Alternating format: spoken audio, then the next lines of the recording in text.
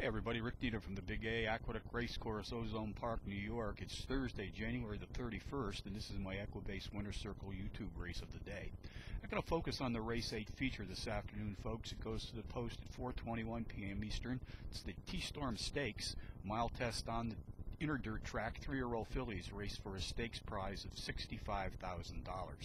Contenders number one, Dill or No Dill. Number six, I Promise number three, Rising Glory, and number four, Carolyn's Cat. Number one, Dill or No Dill, has exceptional early speed abilities for this inter-track sprint, has hit the board in four of her last five starts overall, including a pair of power run wins being embedded in this recent streak of racing consistency.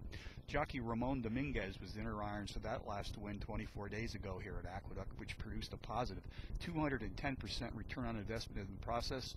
Dominguez is back today for a second ride, gunning for back-to-back circle trips. Number six, I Promise, broke his maiden in his first asking of a four-year career to date and has hit the board in three of his last four starts, including a power run win his last time out.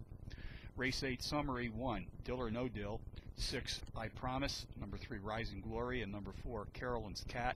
1634 in the 8th from Aqueduct, the $65,000 T-Storm Stakes. I have a couple of bonus long shots for you as usual, folks. Let's go to Laurel Park in Maryland first. Uh, race number 8, entry number 1, Bears Little Whisper, 4 to 1 shot, qualifies as a Trackmaster Plus Power Pony. Is decent speed for this sprint. They race at Tampa Bay Downs in Oldsmar, Florida today as well. Race number 7, the 6 to 1 shot. Number 11, Celio Azteca.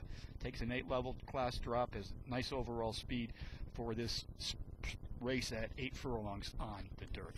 So from Aqueduct on a Thursday afternoon, Rick Needham for the Equibase Winter Circle YouTube and our buddies at dayatthetrack.com reminding you as always to please bet with your head, not over.